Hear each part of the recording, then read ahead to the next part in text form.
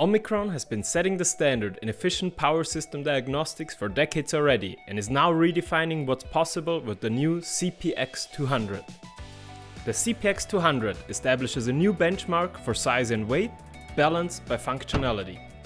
With the new innovative safety concept, we are maximizing user safety while not limiting the usage for test engineers. The CPX200 ecosystem can perform tests and diagnostics on power transformers instrument transformers, and switchgears, using either the CPX200 integrated touch control or with the guided workflows of the PC software CPXpert. And finally, data can also be uploaded, managed, analyzed and assessed within the new Cortex Grid functionality. On power transformers, we can perform traditional electrical tests like ratio tests, even in a three-phase configuration and with automatic tap changer control, DC winding resistance tests, as well as short circuit impedance tests and demagnetization. In this video, we're going to focus on insulation testing, featuring innovations such as an extended frequency range from 1 to 600 Hz and performing the insulation resistance test, even using the same setup. Setting up the hardware is easy.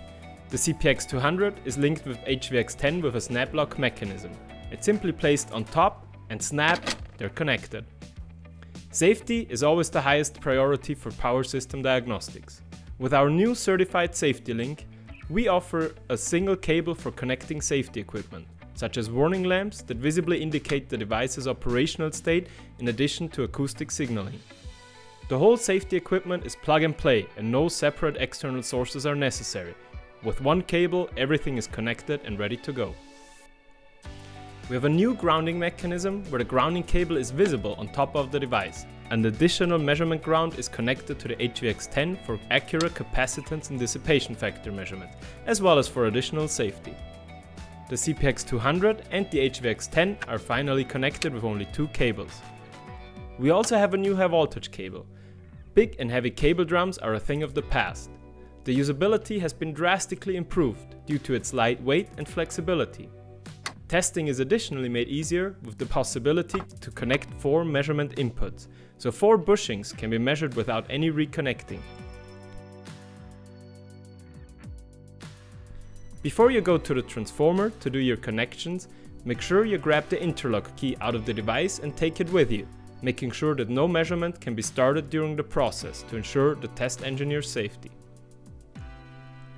For the dissipation factor measurement, all cables and connectors have to be disconnected from the bushings and the bushings must be cleaned beforehand as unclean bushing surfaces could affect your measurement results.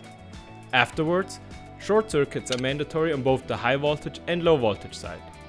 This short circuit is to avoid an open main inductivity, which could influence the measurement results or even lead to unsafe voltage on open terminals. When connecting the high voltage cable, don't forget to use the strain relief mechanism, and with this setup done, you can now perform the dissipation factor measurement. When all the connections on the transformer are done, reinsert the interlock key and put the device into active mode. Now, with a slide on the touchscreen, the prepared test can be started. The test engineer can always decide between using the embedded touch control for operating the device or the PC-guided CPXpert workflow. On the device, as well as in the CPXpert software, you can make use of Omicron's expertise built up over the years and use the provided templates for easy testing according to standards. You also have the option to make use of the system's flexibility and use your own templates that you're already used to perform measurements with.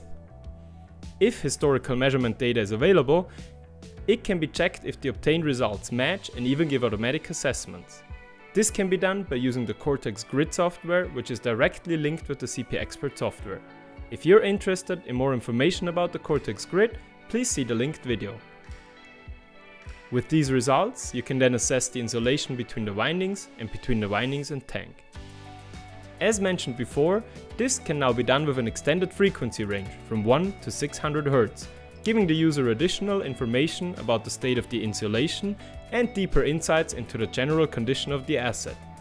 Keep in mind that the insulation resistance test can also be done with the very same setup, saving the tester a significant amount of time and effort. Based on all these new innovative functionalities integrated into the new CPX200 ecosystem, we can not only cut the measurement time drastically, but also increase the safety for test engineers. This new smaller, lighter, faster and safer test set will give test engineers a chance for an early end of the workday.